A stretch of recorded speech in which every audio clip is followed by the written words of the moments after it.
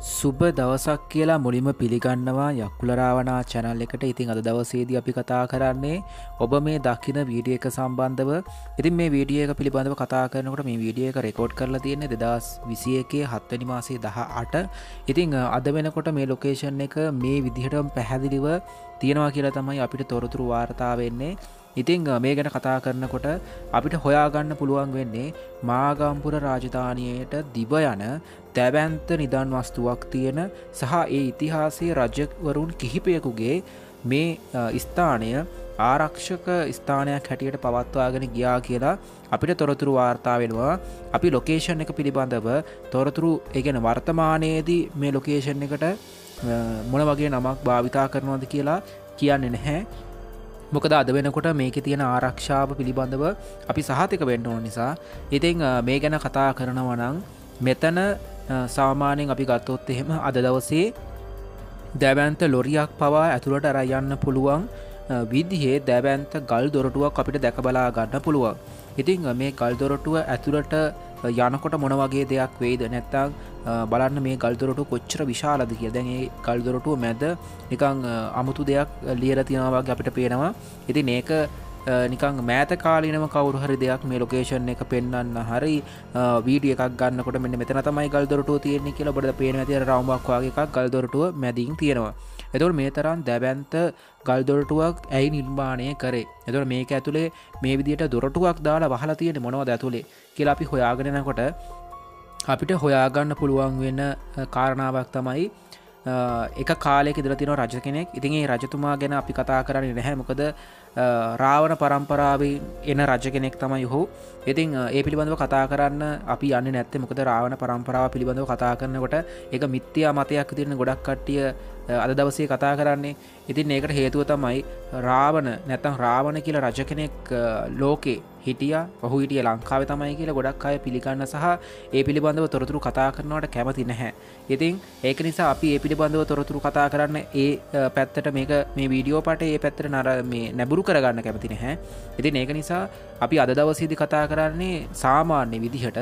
ඉතිං එක රජ කෙනෙක් ඉදිල තිනවා ඒ රජතුමාගේ දැබැන්ත සේනාව සංවිධානය කරන්න ඒ පුහුණු ස්ථානය කටියට නැත්තං අපි කියන්නේ පුහුණු මණ්ඩපයක් කෙලේ කාලය කරන කියනවා. ඉතින් ඒ උහුණු මණ්ඩපය මෙන මෙතන ස්ථාපනය කරලා තිබුණ කියලා තමයි කියන්නේ.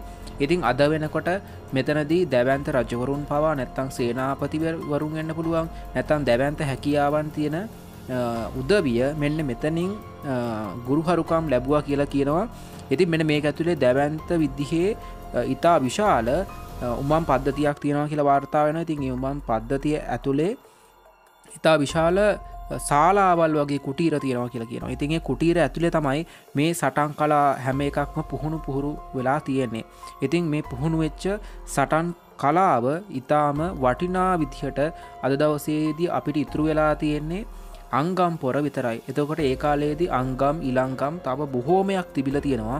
අද දවසේනම් අංකම් විතරයි ඉතුරලා තියෙන ඒකෙත් ගොඩක් විශේෂ වූ කාරණා අද වෙනකොට ශය වෙලා ගිහිලා තියෙනවා. ඉතින් අද ගොඩක් අංකම් කියනකොට ගොඩක් ඒක හොයා ගන්නත් නැතිම තරම්. ඉතින් ඒ කාලයේදී අංගම් කියන්නේ අංගන් සහ ඉළංගම් පිළිබඳව කතා කරනකොට ඒ කතා කරන්න අපි නැබුරු ගන්න මෙන මෙතනි මේ ලොකේෂණ එක තම ඒවගේ දේවල් වැඩිපුරම පුහුණු පුහුණු වෙලා තියෙන්නේ. ඉතින් ඒ පුරුදු පුහුණු වෙච්චි දෙයක් එක ගත්තහම මේ අංගම් කියන දේවල් ගොඩක් දුරඉන්න කෙනෙකුට වුණත් මේ වායු කළම්බනය කරලා ඒ තියෙන නිලශාස්ත්‍රයට පහර එල්ල කරලා ඒ කියන්නේ වායුවක් කළම්බනය කරනවා කියන්නේ ලේසි නෑ. ඉතින් සාමාන්‍යයෙන් ස්වභාව ධර්මය පාලනය කරනවා හා සමානයි. වායුවක් කළම්බනය කරනවා කියන්නේ. එති ඒක කරන්න සාමාන්‍යය පුද්ගලිකුට බැහැ. එක කරන්න දිහාන වඩන්න ඕනේ. ඇතුර දිහාන වඩනවා කියන්නේ ගොඩක් කලාවට මේ විශ්වශක්තිය පිළිබඳව හරි අවබෝධයක් ඇතිව ඒ විශ්වශක්තිය තියෙන ශක්තිීන් ආග්‍රහණය නැත්තන් අපි ඇඟට ගන්න ඕන. ඒ ඇඟ ඇඟට ගන්නවක දැන් අපි ආග්‍රහණය කෙල කියන්න අපි අද දවසේනම් මේ හුස්මත් එක ගන්න එකට. හැබැයි ඒ කාලයේද මේ දේවල් ඇඟට ඇරගෙන තියෙනවා. ඇඟට ඇරගෙන තමයි මේ ස්වභාව ධර්මය තියෙන දේවලත් එක්ක තමයි ඒ ශක්තිීන් මුදා හැරල තියෙන්නේ. එතකොට මේ ශක්තියෙන් පිළිබඳව කතා කරනකට අපිට හොඳ ලස්සන කතාවක් මතක් කෙනවා ඉතිං මේ ඉතිහාසය ගැන කතා කරනකට ඉතිහාසේ විවිධ රටවල් ලොලි ලංකාවට ඇවිල්ල තියෙන ආක්‍රමණය කරන්න. ඉතින් ඒ විදිට ආක්‍රමණය කරන්න ආපු ගොඩක් අය පොදු වෙලා තිනවා. මේ ලංකාවට යම් කිසි විදිහකට ආක්‍රමයක් කරන්න එනවනම් මේ ලංකාව හිටපු මිනිසුන්ට ඒදේ දැනිල තියෙනවා. ඒ කියන්නේ ලංකාවට යම් කිසි කෙනෙක් කෙනවනම් ලංකාවෙන මිනිසු දන්නවා මෙහම කෙනෙ කළුතයෙන් කෙනෙක් කෙනවා ඔහු එන්නේ මේ වගේ දේකට තමයි. ඒ වගේ දැනිල තියෙනවා.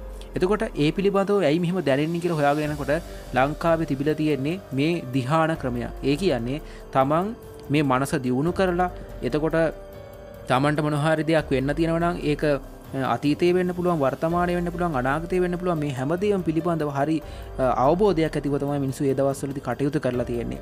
ඉතින් ඒ හේතුවත් එක තමයි මේ ලංකාව ඉන්න මිනිසුන්ව යටත් කරගන්න බැරි වෙලා තියෙන්නේ. හැබැයි මේ විදේශ බලවේක දැනගෙන තියෙනවා මේකට යම් කිසි දෙයක් වෙනස් කරන්න නැත්තම් මේ දිහාන ක්‍රමය නැත්‍රම නැති කරලා දාන්න ඕන. එහෙම දැම්මොත් එහෙම තමයි අපිට මේ ඉන්න මිනිසුන්ට නැත්තම් මේ ශ්‍රී ලංකාව කියන රට ආක්‍රමණය කරන්න පුළුවන් වෙන්න කියලා එහුන් දැනගෙන තියෙනවා. ඉතින් ඔවුන් දැනකන මේකට එක පුංචි දෙයක් විතරයි කරලා තියෙන්නේ. ඉතින් ඔබ දන්නවා යම්කිසි විදිහේ කිරි කලගෙඩියකට ගොම බින්දුවක් දැම්මනං ඇති. ඒවගේ තමයි යම්කිසි පිරිසුදු දෙයක් තියෙනවනං ඒක විනාශ කරන්න නැතන් කැත කරන්න ඕනං අපිට එක වාකියකින් නැතඟ ඒක ලියන්න ඕන්න අපිට ඉස්රහට අයන්නක් විතරයි දාන්න තියෙන්නේ. ඒ කියන්නේ පිරිසිදු දේ අයන්නක් දාපුම අපිරිසිදු වෙනවා. ඒවගේ තමයි මේ ලංකාවේ තිබුණු දිහාන ක්‍රමය නැති කරන්න ඉස්සරහට අයන්නක් විතර යොහුන් එකතු කරේ. ඒක තමයි අධ්‍යයනය කියල එකක් ගෙනවා. ඉති මේ අධ්‍යනය කියල එකක් ගෙනාපින්න දිහාන ක්‍රමය නැතිවෙලා ගියා. හැමදේම තව කෙනෙ කියල දුන්න පලියට ඒදේ අහල කරන ක්‍රමයක් විතරයි. අද දවස ඉතුර වෙලා තියෙන කටපාඩන් ක්‍රමය කියලා පීකට කියනවා. ඉතින් ඒ වගේ ක්‍රමයක් ඉතුරු වෙලා මිනිසු හිත්තල මතලා කරපුදේ නැත්තං දිහාන වඩලා. තමන් දිහානය වඩන්නේ තමන් හිත්තල මතලා තමන් උත්සාහයෙන් තමයි දිහාන ලබා ගත්තේ. ඉතින් අද වෙනකොට දිහාන ක්‍රමය නැති වෙලා මේ අධ්‍යයනය කියන එක ඇවිල්ල තියෙනවා.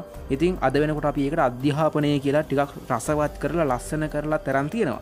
ඉතින් මෙන්න මේ වගේ කාරණා ගොඩා කද දවසේදී මේ ලංකාව ඉතිහාසය පිළිබඳව අපි හොයනකොට අපිට දැනක බලාගන්න පුළුවන්ගෙනවා ඉති ලංකාවේ ශේෂ්ඨ විදිහටම දිහාන වඩපු තැනක් හැටියට මේ ලොකේෂණ අපිට පැහදිලෝ පෙන්න්න පුළුවන්. ඉතින් මේ තැනේ කොයිතන ලොකු බලයක් ඒ කාලෙ තියෙන් නැත අද වෙනකොටත් ඒ බලය ගැබ්බෙල ඇති මේක ඇතුළේ ඉතින් ඒ වගේ බලයක් තියෙන තැනක් තමයි ඔබ මේ ඇස් දෙකෙන් දකින්න. සමහරක්ලාවට ඔබට මේ වගේ දැවඳ දෙයක් දකිනකොට ඔබගේ හිරිගඩු පවා එන්න පුළුවන්. ඒ තරම් ලොකු බලයක් තියෙන තැනක් තමයි මේ තැන. ඉතින් අද දවසේද මේ වගේ තැනක් අපිට පෙන්වන්න උමනාවනේ මේ වගේ දැබන්ත දේවල් ලංකාව තියෙනවා කියලා ඔබට පැහදිලෝ පෙන්න්න ඕ නිසා ඉතින් අද දවසේ වීඩියකෙන් පුංචි හරදයක් ඔබ එකතු කරගන්න ඇති ඔබේ ජීවිතයට කියලා පිහිතනවා ඉති වීඩිය හොඳන අනිවාරයම ලයි කරන්න කමෙන්ට කරන්න ශයා කරන්න සප්තකක් දෙන්න තමතක් කරන්න එපා. අපි අදර ගිහිල්ලෙන්නම් මොනහර තිනවන අනිවාරයෙන් කමෙන්ට එකක් දාන්න. ඕකේ තැංකෝ